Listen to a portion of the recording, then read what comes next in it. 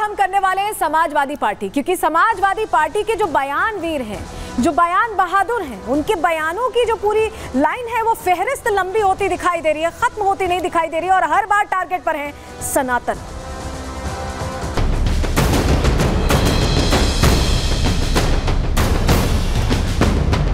बड़े बड़े धार्मिक आयोजनों में लोग गांजा पीते हैं। उसे भगवान का प्रसाद और बूटी कह करके पीते हैं।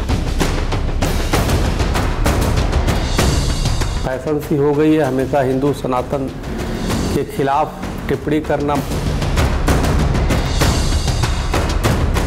कुंभ के लिए हिंदू साधु संतों के लिए आपके मुँह से बोल फूट रहे हैं। कभी मौलाना मजलिस और मस्जिद के बारे में आप बताएँगे? ये कानूनी विडंबना है कि गांजा पीना प्रतिबंधित नहीं है। गांजा रखना प्रतिबंधित है।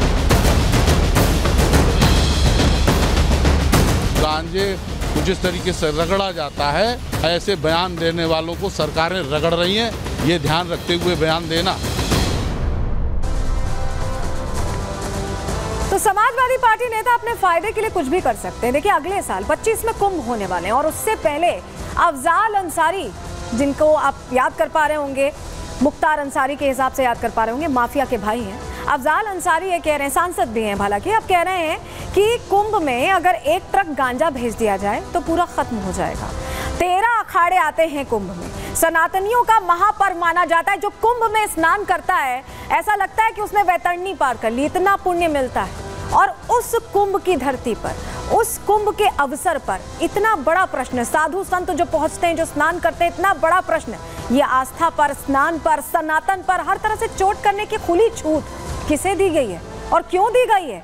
क्या ये सारी चीज़ों के झंडा बरदार है या हर चीज़ में एमवाई देखेंगे? उसी के हिसाब से बयान देंगे। आज इसी पर विस्तार से बात करने वाले क्योंकि देखिए, आस्था के स्थान को एक तरह से अफजाल अंसारी ने तो नशा का अड्डा बता दिया। उनके हिसाब से तो महाकुंभ में सिर्फ़ नशा होता है। आप एक ट्रक गांजा भेजिए खत्म हो जाता है। इस तरह की बात कर रहे हैं। हुआ क्या क्या बयान दिया अफजाल अंसारी ने? जरा आपको पहले हम डिटेल में बता देते हैं, उसके बाद सिलसिलेवार तरीके से एक एक चीज़ बताएँगे। सबसे पहले समझिए, सपा सांसद हैं अफजाल अंसारी, और फिर से विवादित बोल उनका सामने आया। माफिया के भाई हैं, मैंने शुरुआत में ही आपको बताया। और संतों के अपमान का जो एजेंडा है, समाजवादी पार्टी का, उसे आगे ले जाते दिख रहे हैं अफजाल अंसारी। जी हाँ क्योंकि इनकी तरफ़ से ही ऐसा बयान दिया गया। विक्रांत प्लेट बदलेंगे। देखिए, सपा सांसद ने कहा है, आपत्तिजनक टिप्पणी करते हुए, आपत्तिजनक बयान देते हुए ये कह दिया है कि कुंभ में गांजे की खपत हो जाती। इस पर विवादित बयान दे दिया है। गांजे को भगवान का प्रसाद और बूटी बता दिया है। अफजाल अंसारी इतने पर ही नहीं रुके।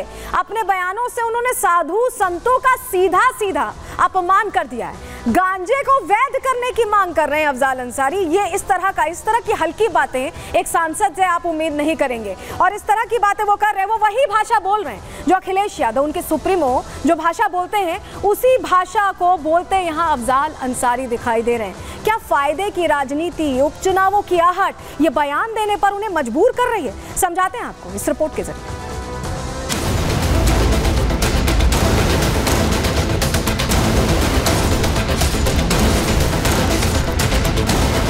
प्रदेश में 11 सीटों पर विधानसभा के उपचुनाव होने हैं। चुनावों से पहले सपा प्रदेश की राजनीतिक हवा बदलने की कोशिश कर रही है। इस कोशिश में सपा के टारगेट पर है संत समाज। पहले सपा के मुखिया ने संतों का अपमान किया महंतों को मठाधीश बता दिया। मठाधीश और माफिया में कोई ज़्यादा फ़र्क नहीं होता।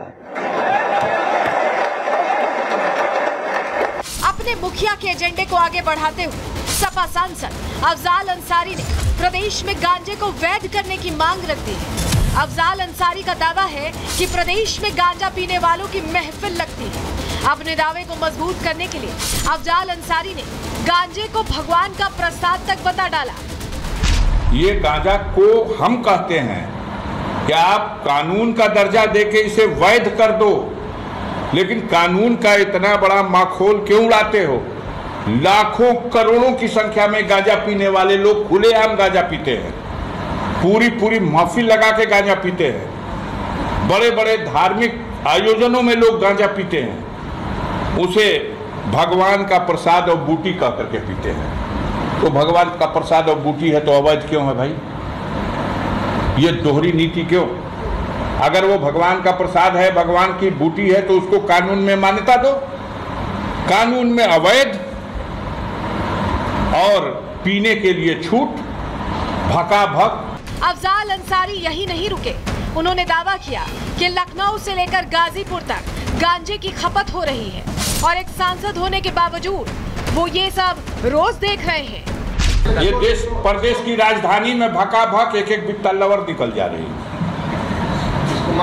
गाजीपुर ज़िले में भी वही हो रहा है। कौनो मठ में चलो ना हमारे संग हम दिखा दें अफजाल अंसारी का यह अलौकिक गांजा ज्ञान यही खत्म नहीं हुआ। उन्होंने गांजे को आस्था के महाकुंभ से जोड़ दिया। सांसद महोदय के मुताबिक, महाकुंभ में शामिल होने वाले संत महंत गंजेड़ी। वहाँ अगर गांजे की मालगाड़ी भेज दी जाए तो वो भी खाली हो जाएगी। अभी कुंभ लगने जा रहा। कुंभ लगने जा रहा ना? एक मालगाड़ी भी अगर चली जाएगी गांजा की तो खत्म हो जाएगी। वो भी खत्म हो जाएगी। संतों पर अफजाल अंसारी और अखिलेश यादव के ये बयान बता रहे हैं कि सपा का एजेंडा फिक्स है। वो कुंभ का अपमान करेंगे, वो संतों का अपमान करेंगे और अपने एम वाई फैक्टर को मज़बूत करेंगे। अतीक और मुख्तार के बाद सपा के पास कोई बड़ा मुस्लिम चेहरा नहीं है। शायद यही वजह है कि पिछले कुछ दिनों से अफजाल अंसारी नए बयान बहादुर बनकर उभरे हैं। वो हर उस एजेंडे पर बयान दे रहे हैं। जिससे पार्टी के मुखिया खुश हो और उन्हें शाबाशी दे। लेकिन सवाल ये कि आखिर अपमान वाली सियासत से सपा क्या हासिल करना चाहती है? Bureau report, Republic Bharat.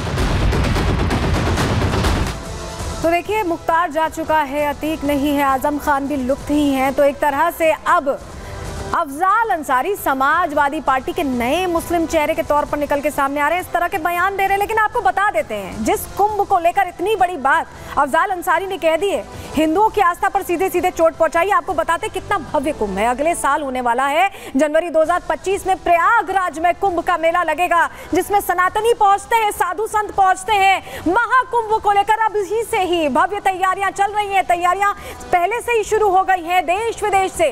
करोड़ों लोग आते हैं, करोड़ों सनातनी हिंदू आते हैं, स्नान करते हैं।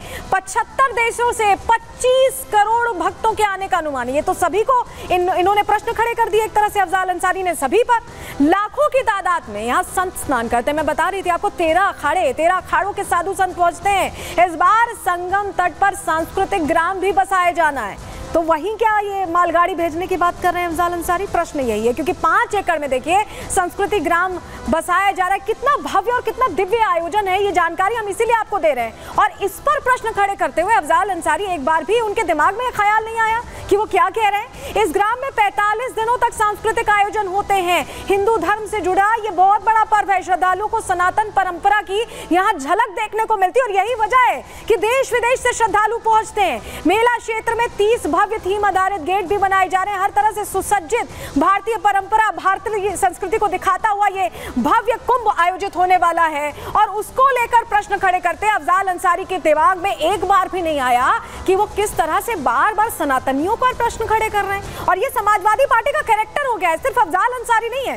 बार बार इस तरह के बयान आते रहते हैं। जरा आपको बताते हैं, तेरह अखाड़ों का जब हम ज़िक्र कर रहे हैं, देखिए आपको बताएँ, तेरह अखाड़ों का इस बार शाही स्नान नहीं हो रहा है। शायद ये भी बुरा लगा हो समाजवादी पार्टी को, क्योंकि इस बार राजसी स्नान हो रहा है। बदला गया है। अरबी शब्द को हटा दिया गया है। क्योंकि अब हम अपने, जो अपनी धर्म की चीज़ें, अपनी परंपराओं को, उनको अपने साथ लेकर आगे बढ़ना चाहते हैं और चाहते हैं कि जो हमारी आगे की जनरेशन है, उन्हें पता चले। देखिए, तेरह अखाड़े, जूना अखाड़ा, अटल अखाड़ा, आनंद अखाड़े, तमाम जो अखाड़े हैं, उसके साधु संत पहुँचते, पहले वो स्नान करते हैं। और उसके बाद लोगों के लिए, जो श्रद्धालु पहुँचते हैं, उसके, उनके लिए मौका होता है स्नान का। और ये आस्था से जुड़ा हुआ पर्व है, जिसका इंतज़ार सालों साल किया जाता है और फिर वो आता है।